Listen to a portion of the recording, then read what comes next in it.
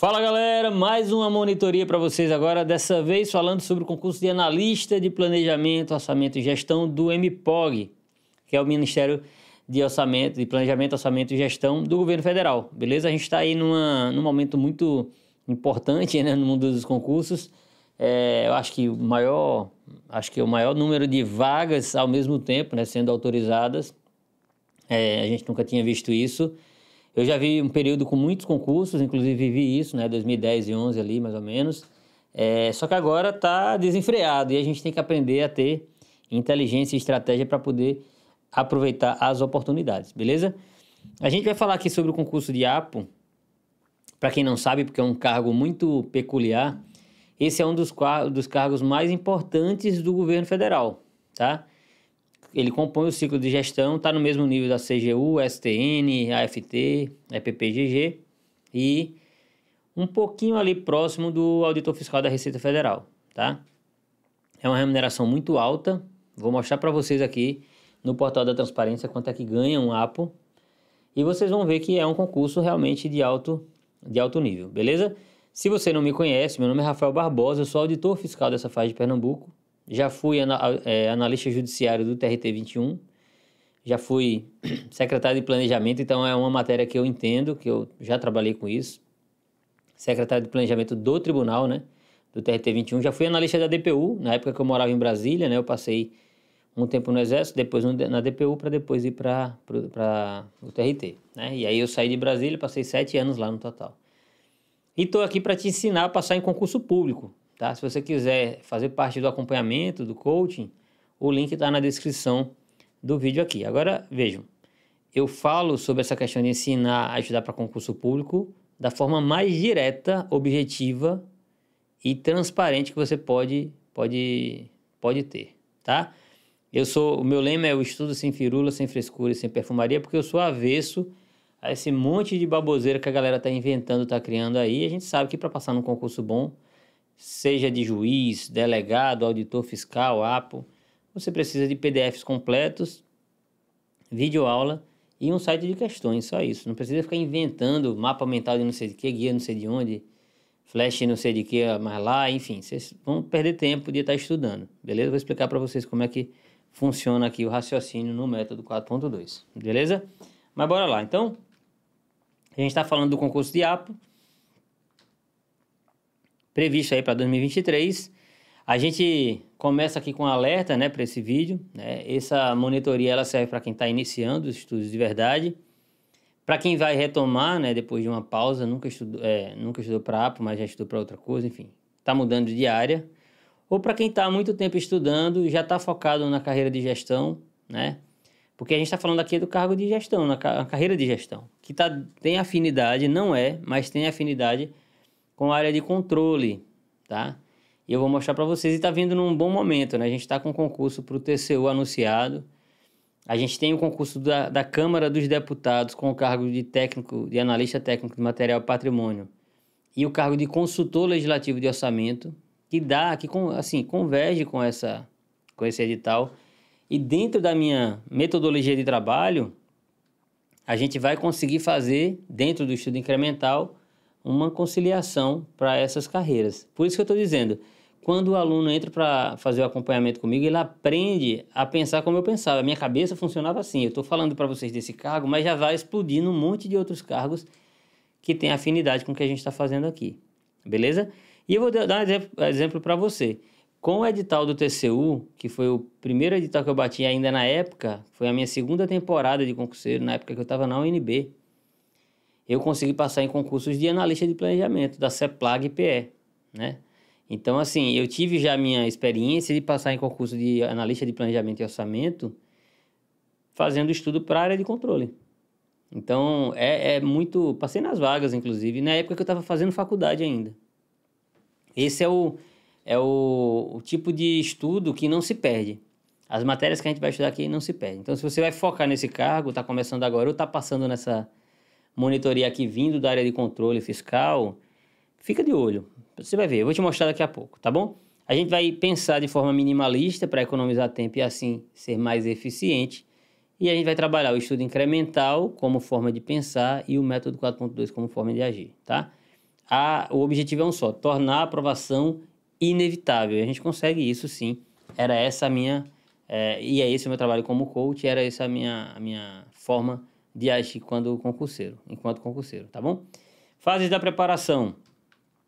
A gente sabe que existe a fase pré-edital, que é a mais importante, né? Onde a gente vai fazer o acúmulo, então a gente tem que correr.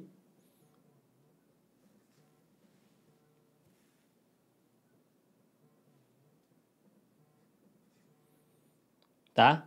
E aqui a gente vai ter o acúmulo e a sedimentação do conhecimento, ok? No pós-edital, a gente tem que tentar deixar para um momento de ajuste. Então, a gente vai fazer o ajuste fino daquilo que a gente conseguiu estudou, estudar no pré-edital. Para quê? Para tentar chegar no pós-edital fora do, do PI, né? Então, a galera que está aqui na base da pirâmide, existia antes uma, uma... Existe ainda, né? Uma classificação entre avançado, intermediário e iniciante. A minha classificação é binária. Ou você... Aqui é o, o rol de inscritos, né? Ou você é PI ou você é concorrente. Nem todo inscrito é concorrente. Eu só considero concorrente quando o aluno consegue ficar ali entre os 5% mais bem classificados. Esse cara aqui já é um faixa preta, tá? Ele já é um faixa preta. Aqui tá os faixa branca, verde, amarela, enfim, tá subindo aqui ainda. E aí a gente vai trabalhar no pré-edital para tentar sair dessa condição, para chegar lá, no concurso, com esse com essa classificação, tá?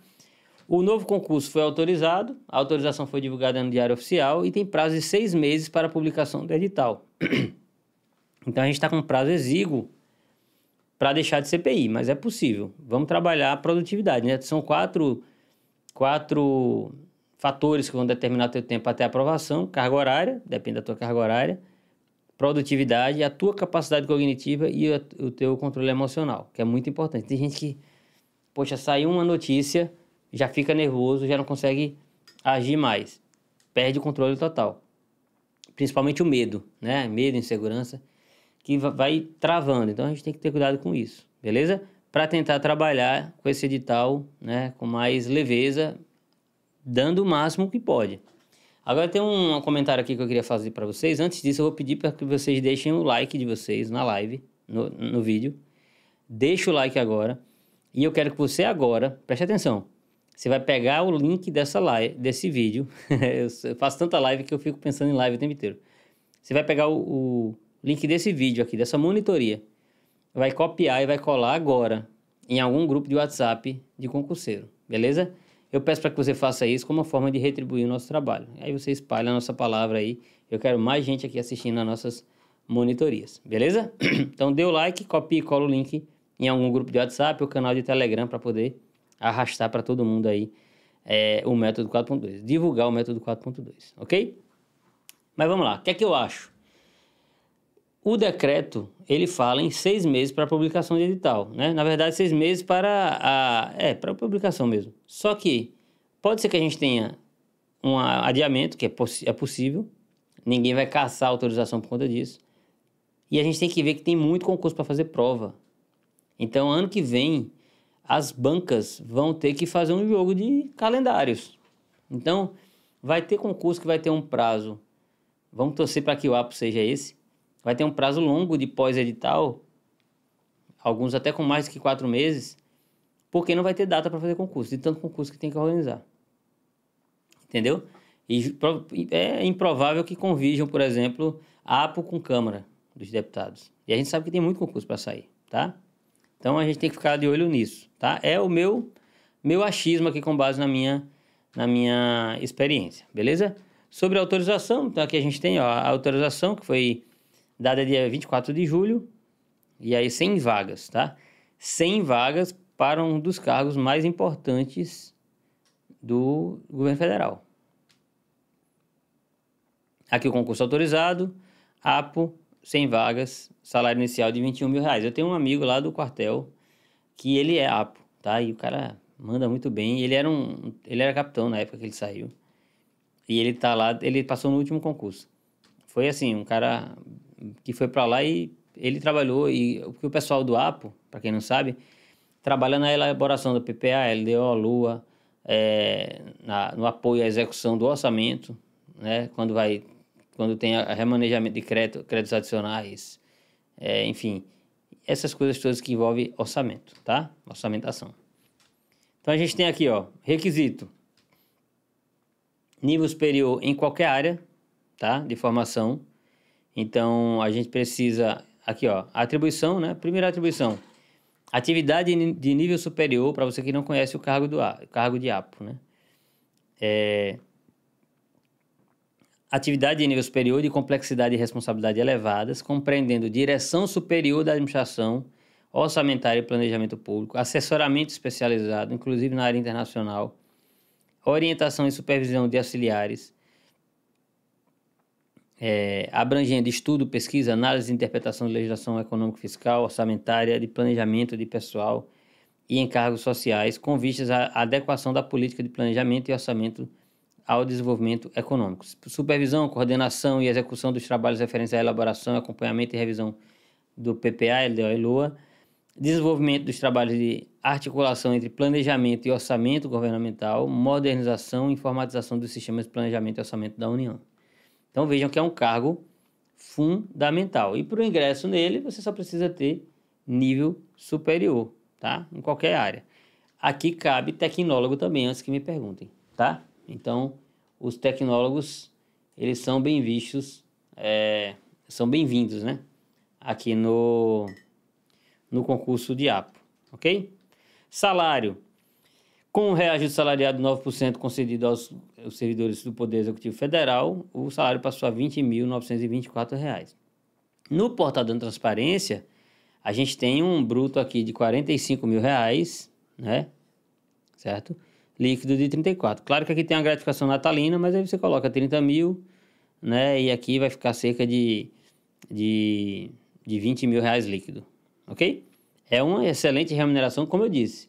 É uma das maiores remunerações do Poder Executivo Federal. Está equiparado a CGE, CGU, STN, EPPGG e AFT. Tá? E fica um pouquinho abaixo do auditor fiscal do, da, da União. Professor, qual é o maior salário Quais são os maiores salários? Os maiores salários são Receita Federal, AGU e esses salários aqui, que eu citei para vocês. São os maiores salários do governo federal. Beleza? O último concurso foi quando? O último concurso foi em 2015 para a APO, tá? diversas áreas, é, nível médio e superior, e a banca na época foi afinada ESAF. Ainda bem que essa banca acabou, né? Essa banca era o terror aí no mundo dos concursos. Foram 170 questões, na época 15 mil reais o salário, já era um salário alto, tá? E discursiva, e teve discursiva também. A gente teve provas objetivas de conhecimentos gerais específicos, discursiva, títulos e curso de formação. Alerta para a possibilidade de reprovação, porque os cursos de formações nesse cargo geralmente são, nesse nível, né, são eliminatórios, tá bom? E o que é que a gente teve aqui? Ó? A gente teve 20 questões de língua portuguesa, peso 2. Língua inglesa ou espanhola, 10 questões, peso 1 Raciocínio lógico quantitativo, 10 questões, peso 1. Direito público, 20 questões, peso 1. Administração pública, 20 questões, peso 1. Contabilidade pública, auditoria e controle, peso 2, 10 questões. Isso para conhecimentos gerais.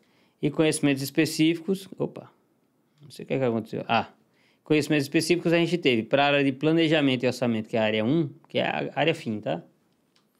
A gente teve 20 questões de planejamento e orçamento público, tá? Então aqui é AFO. 20 questões de economia, 20 questões de políticas públicas, a galera que fez CGU já vai nadar de braçada aqui, CGU e TCU, tá? Por isso que eu estou dizendo. E finanças públicas e direito tributário. 20 questões, tá? Então, ó, galera de CGU, TCU e Cefaz, principalmente, quem estuda para Cefaz e SS Capital, pode fazer esse concurso sem problema. Quem é da área de TI vai ter planejamento, orçamento, economia, políticas públicas, finanças públicas, direito tributário e TI, tá? 30 questões de TI. Que está na área fiscal aqui também, tá?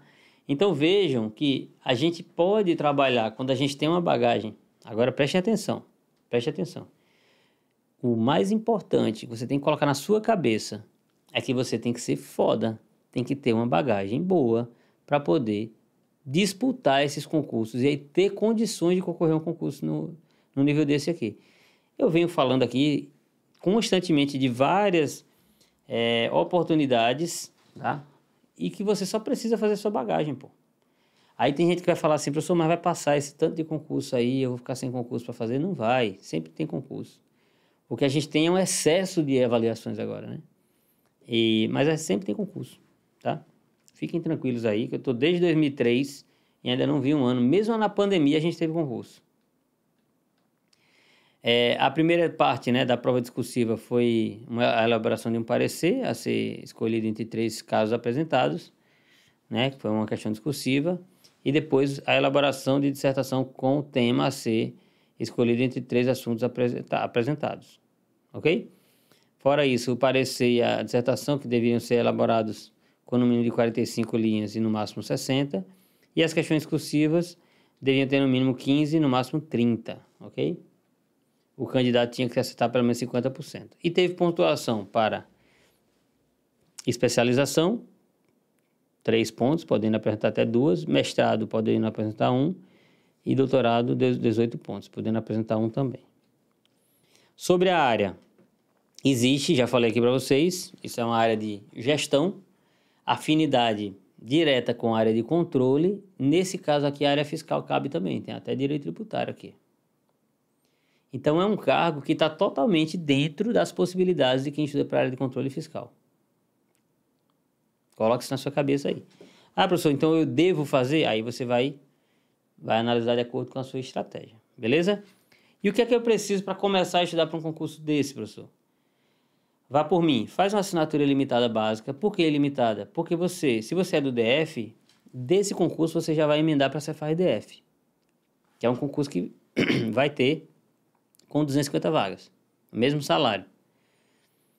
E aí você vai poder trabalhar com a assinatura limita ilimitada com mais liberdade, beleza?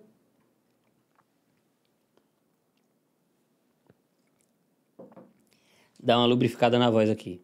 Vídeo aula para quando eu não entender. E site de questões. Muito importante aí ter um site de questões. Aí vocês vão trabalhar a carga horária de 3 horas, se vocês tiverem 3 horas, dividido em dois tempos de 90 minutos. Se vocês tiverem 4 horas e meia, 3 de 90. Ah, eu tenho 6 horas, 3 de 4 tempos de 90. Professor, eu não posso estudar mais nem menos, não pode. Pelo menos 60 minutos, no máximo 120. Por que, que eu não quero que vocês estudem mais que 120 minutos por dia cada matéria? Para que vocês não estudem com o foco lá embaixo. Aí vocês vão conseguir aproveitar mais o, a rotina de vocês, tá? O, a carga horária de vocês. Então, faz dessa forma aqui, essa divisão recomendada. A gente vai trabalhar o método 4.2. Método significa caminho a ser seguido. Eu estou dizendo para vocês aqui, mostrando para vocês o caminho que eu segui para ser aprovado nos meus concursos, tá bom? Lembrando que o método 4.2 pressupõe a formação de dois grupos e a gente vai alternar esses grupos A e B, onde a gente vai estudar durante os seis dias da meta. Cada meta tem seis dias. A semana não tem sete, um dia de descanso, beleza? Cuidado, porque vocês têm que fazer um estudo sustentável para vocês poderem ficar estudando o tempo necessário até ter bagagem, que é a bagagem que vai fazer vocês serem aprovados. Quatro dias a teoria, fazendo sempre as questões de fixação. E dois dias onde vocês vão fazer as questões de teste e revisar o que errar. Então, depois da teoria, questões de fixação. Antes da revisão, questões de teste. Tá? E a gente vai trabalhando uma espécie de rodízio, porque vocês não vão estudar todas as matérias ao mesmo, ao mesmo tempo. A gente não pode fazer isso, ok? Senão vocês vão conseguir é, você conseguir a proeza de, tendo tempo, se embaralhar, porque está colocando muito conceito é, junto, tá? Imagina aqui a gente estudando, então, grupo A, grupo B, alternando com A e B, revisa A, revisa B. Vou dar um exemplo começando na segunda. Segunda, terça, quarta, quinta, sexta e sábado. Quatro dias teoria, dois dias de revisão. revisão. Quatro dias de teoria, dois dias de revisão. Aqui a gente vai estudar teoria em PDF ou vídeo aula, lembrando. E aqui a gente faz as questões de teste e revisa o que errar. Ok? Por que, que eu estou fazendo questões de fixação depois da leitura, professor? Mesmo que não tenha concluído o assunto. Para você entender como é que aquele assunto pode ser cobrado. Então a gente vai trabalhar a entrada de informação sempre precedida de.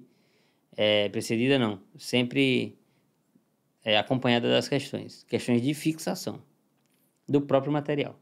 As questões de teste, por serem teste, são do sistema de questões, fora do material, ok? Então a gente vai trabalhar dessa forma até, né, alternando até desenvolver bagagem. Vamos supor que constitucional esteja no. Vamos supor que constitucional está no, no grupo A. Imagine que você estudou aqui habeas corpus e mandado de segurança. Quando você estudou habeas corpus, você fez 10 questões de fixação, para ver como é que habeas corpus é cobrado. Quando você estudou mandado de segurança, você faz mais 10 questões. Opa, 10 questões de fixação. Ok. No dia de revisão, a gente vai fazer a revisão do que viu na semana. Esquece 24, 7 e 30, tá? 24, 7 e 30. Esquece. Fiz as questões de teste lá no site. Vamos supor que eu acertei 100% daqui. Mandar de segurança. Eu não preciso revisar. Agora, habeas corpus que eu errei alguma coisa, eu vou revisar no próprio material o meu erro como eu estou. Agora veja a questão da eficácia, da, da eficiência, onde é que onde é que está, onde é que mora. Se eu estou estudando e fazendo questões, e no dia de teste eu faço questões de teste e só reviso o que eu erro, eu estou afunilando ali, eu estou utilizando o meu tempo para onde, eu tenho, onde eu tenho mais dificuldade. E aí eu consigo ganhar eficiência dessa forma. É por isso que um aluno do método 4.2, no coaching, por exemplo, consegue bater um edital mais rápido do que uma pessoa que estuda com 24730 ou outra forma, uma pessoa que estuda com trilha, enfim. Porque a gente tem muito mais objetividade. O estudo mais enxuto, sem firula, é enxuto na, no procedimento, mas é completo, a gente bate todo o edital, ok? Se você quiser aprender a estudar do jeito certo, venha-se embora para o programa de coaching, tá? Quando o aluno entra no programa de coaching, como é que, o que é que acontece? Ele faz a contratação, recebe um questionário para ter um, um, para que eu tenha a informação do aluno, porque eu vou aproveitar tudo que ele tiver de bagagem. Se você veio de, veio de outro concurso, eu vou aproveitar. E a gente vai ter a videoconferência inicial, tá? Para é, elaboração das metas semanais, envio, e aí, semana após semana, o aluno vai dando feedback, tá? O aluno, feedback, o aluno vai ter contato com o coach via WhatsApp o tempo inteiro, avaliação de desempenho, análise de conciliação de edital, que eu faço essa análise, e o acompanhamento do progresso até ficar competitivo. E eu garanto para você, você consegue, se tiver uma postura profissional, né, diante dos do estudo para concurso, seguindo o método direitinho, com constância, você consegue, mesmo com a carga horária baixa, tornar a aprovação inevitável. Esse é o meu trabalho, beleza? E eu vou te ajudar nisso. O WhatsApp da gente é esse aqui, ó, 81998387454. Transportai um punhado de terra todos os dias e fareis uma montanha. Esse é o mantra do método 4.2. Se você tiver paciência para todo dia transportar o seu punhado, é só uma questão de tempo. Veja que na frase, frase do Confúcio, não tem tempo, é constância. É constância que vale, tá bom? Pessoal, é um prazer enorme fazer uma monitoria para vocês. Compartilhem, não deixem de se inscrever no, no canal tá? e vamos embora para o acompanhamento individual. Vai ser um prazer te receber aqui, tá bom? Grande abraço, fiquem com Deus, fui.